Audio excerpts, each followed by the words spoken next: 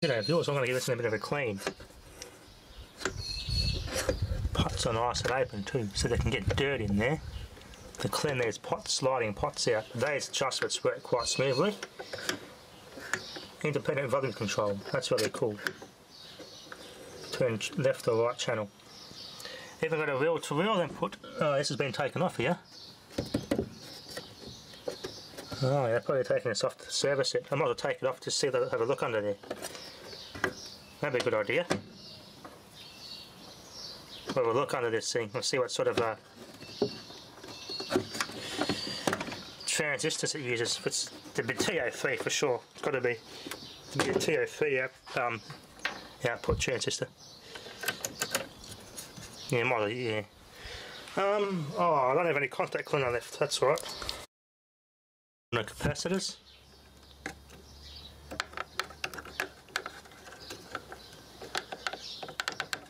Main filter capacitor. This thing had good sound, so there was no hum. So that capacitor is obviously good. And it's just ordinary integrated circuits. No uh, TO3 transistors like I thought there was going to be. Interesting. one screw on that one. Only one screw on that one. What's going on there?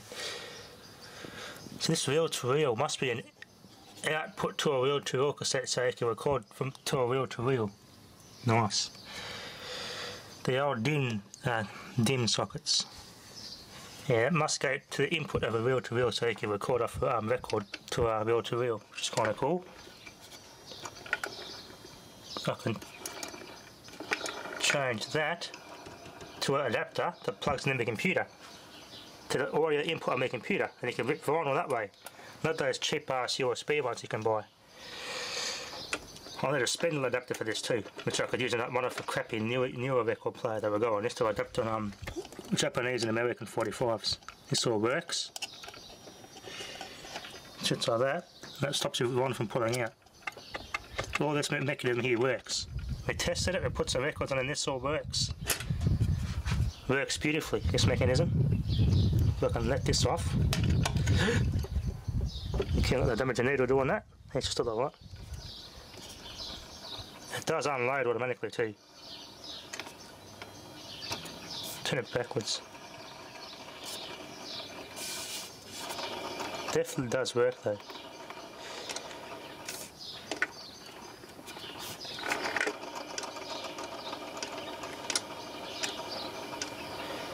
Yeah, I might go when it's up. i got to get a record and test it.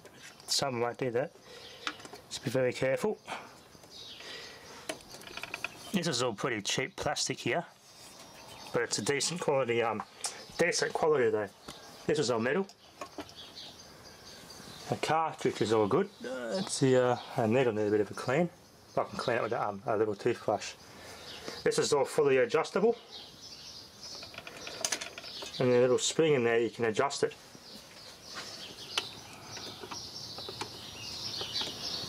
It's all fully adjustable in here. The uh, other one he had, I think he had one, I think uh, the Sanyo one had the same turntable as this. He had another old wooden one, which is going to dig out of storage and let me know, which had a calibration rate on it, it was a bit better quality. Had all weights you can adjust on the back of it, which is um to fine tune the uh, weight on the stylus, which is what you need on a professional, good quality record player because the tracking pressure is everything. These newer Chinese ones, it's just all one one weight. Well, that's not, not always good for records. The weight has to be, the tracking has to be absolutely perfect, it has to be a certain weight. So this spring does that, and it's adjusted by this little screw here.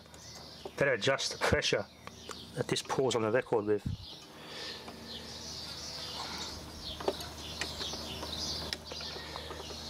It's all metal, it's metal shaft. Good quality unit. BSR actually a pretty good brand. There was Garrard and BSR sold in Australia mainly back in those days. Garrard being the best. We had Garrards in the 60s on the uh, AWA and Australia made radiograms which I've seen one on for sale on Facebook. I took the Garrard turntable out and put one of these, a Chinese modern one of these Crosleys in place. big mistake. They're making a big mistake by doing that. But it's their records. They like their cherish records. Oh, well, that's their problem. Um, so I've got to find one of these screws to go in there. Don't know what screw there was missing. There we are. 7, 10 and 12. That all works. This all works.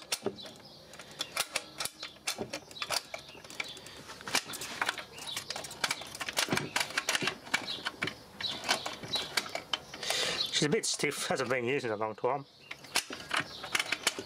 There you go. There we go.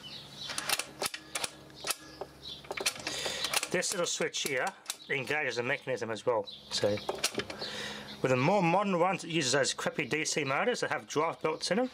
Always have them in neutral. That laid them in position. If they got in neutral, make sure they're in neutral. And you should be able to spin that freely because what happens is a rubber rubber idler tyre has an axle sits on it it'll leave an indentation and it stays on the rubber and you have a bit of a bump and your record player will play with a bit of a bump and noise to it. And of course those newer Chinese ones, they're all belt driven and the belt perishes within six months and you can't get replacement belts for them anymore. You just buy a whole new record player. These newer ones are just crap, utter crap. So to really cherish your vinyl records, get an old one like this to play them back on. It's a lot more gentle on your record than those newer ones.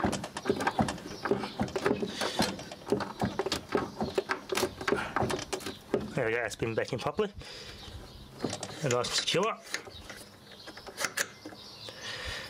Find a sweater going there now. I don't now is missing. It might have been pulled apart before to clean or something because I couldn't find it earlier. It's been uh, tinkered with. Because these are protected, those sliders. Dust just goes straight in there on the tracks. But anyway, that'll be enough for now. Thanks for watching.